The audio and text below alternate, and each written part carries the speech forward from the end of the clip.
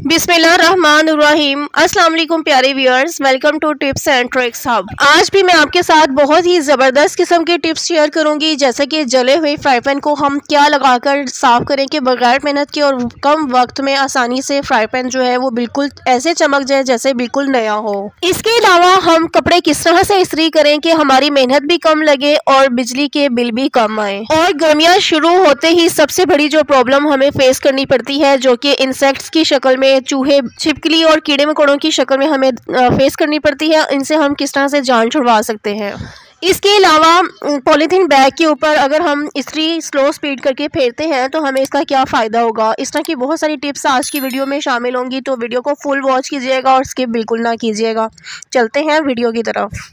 Non stick pan काफ़ी अर्सा जब use करते हैं तो इस तरह से उनकी बैक साइड जो है वो बहुत ज़्यादा काली हो जाती है। तो इसको साफ़ करने का एक बहुत ही मैजिकल तरीका आज मैं आपके साथ शेयर करूँगी। हमारे घरों में बहुत सारी ऐसी मेडिसिन पड़ी होती हैं, जो कि पड़ी पड़ी एक्सपायर्ड हो जाती हैं। तो आपने इस पैन की बैक साइड को साफ़ करने के लिए यही एक्सपायर्ड मेडिसिन यूज़ करनी है। तो बिल्कुल एक वेस्टेड चीज़ के साथ हम अपना बहुत बड़ी मुश्किल को आसान करेंगे। वो यूँ कि आपने सारी जो एक्सपायर्ड मेडिसन है, वो लेनी है। और अगर कैप्सूल हैं तो उनको खोल के उनकी जो अंदर दवाई होती है वो आपने इस पैन के ऊपर डाल देनी है।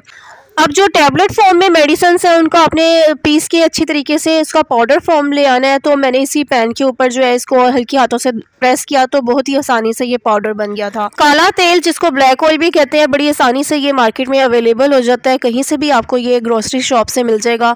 वो मैंने थोड़ा सा पानी में मिक्स किया और इसके ऊपर अप्लाई कर दिया। इस तरह से थोड़ा सा ये लिक्विड फॉर्म में भी आ जाएगी टेबलेट्स का पाउडर और काला तेल सिल्वर के बर्तनों को चमकाने के लिए बहुत ही यूज़फुल होता है।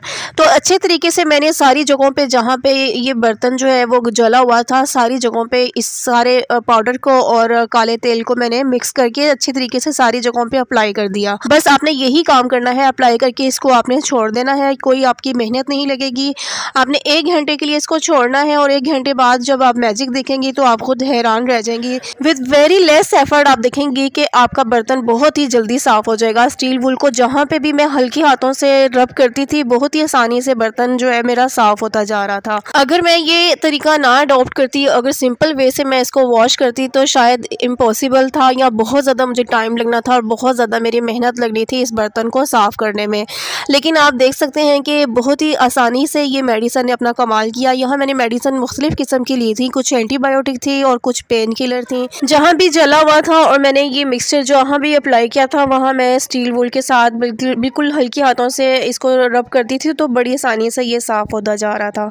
आप लाइव देख भी सकते हैं कि बहुत ही आसानी से ये साफ़ हो रहा है। तो पानी के साथ साफ़ करके मैं लेकर आई हूँ तो आप देख सकते हैं रिज़ल्ट कितना ज़बरदस्त है और बिल्कुल ऐसे साफ़ हुआ है और चमक उठा है जैसे ये बिल्कुल न्यू हो। ना सिर्फ़ बैक साइड इसका ये हैंडल है, इसके यहाँ नीचे से भी बहुत ज़्यादा जला हुआ था। ये भी बहुत अच्छे तरीके से साफ़ हो गया, इसकी सारी साइड्स बिल्कुल ऐसे चमक उठी हैं जैसे ये बिल्कुल नया पैन है। तो जले हुए बर्तन धोने की मैंने आपकी मुश्किल आसान कर दी। इनाम के तौर पर वीडियो को लाइक करें। चलते हैं नेक्स्ट टिप की तरफ़ मेरी नेक्स्ट टिप भी बहुत ही ज़बरदस्त है और वो ये है कि गर्मियों में बहुत ज़्यादा जो बिल आते हैं, उनसे आपकी जान छूट जाएगी। तो आपने क्या करना है कि जब भी कपड़े स्टी करने हैं तो जहाँ आप कपड़े स्टी करती हैं, वहाँ पे आप एल्यूमिनियम फॉल को फैलाकर अच्छी तरह से बिछा लें। अब इसके ऊपर जब आप कपड़े स्टी करेंगी तो आपको दो फ़ायदे होंगे। एक तो ये कि आपकी मेहनत भी कम लगेगी, आप एक साइड पे कपड़े स्टी करेंगी तो दूसरी साइड खुद ब खुद जो है वो प्रेस हो जाएगी, क्योंकि एल्यूमिनियम फॉल में ये क्वालिटी होती है कि ये टेम्परेचर को अपने अंदर जो है वो जस्ट कर लेता है और मेंटेन रखता है। तो इस तरीके से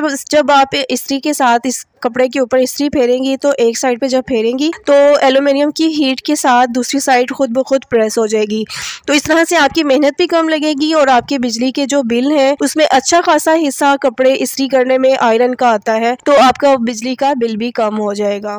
तो मैंने आपकी एक और बड़ी मुश्किल आसान कर दी, वो ये कि आपकी बिजली की बचत भी कर दी। तो इनाम आपने मुझे ज़रूर देना है। वीडियो को ज़रूर प्यारे से थम से लाइक करना है। चलते हैं टिप नंबर थ्री की तरफ़। ये टिप भी बहुत ही अमेजिंग है। वो ये कि रमज़ान शरीफ आ गया है। मुख्तु किस्म के खाने पका करेंगे और बाकी जो बचे हुए खाने हैं वो हम फ्रिज में रख देंगे। तो इससे ये होगा कि मुख्तलिफ़ खानों की जो खुशबू है वो दूध वगैरह में या एक दूसरे के अंदर जाएगी। तो फ्रिज में से स्मेल ख़त्म करने का बेहतरीन तरीका ये है कि एक बाउल के अंदर आपने कोयला रखना है और उस कोयले को फ्रिज के अंदर साइड पे करके रख दें।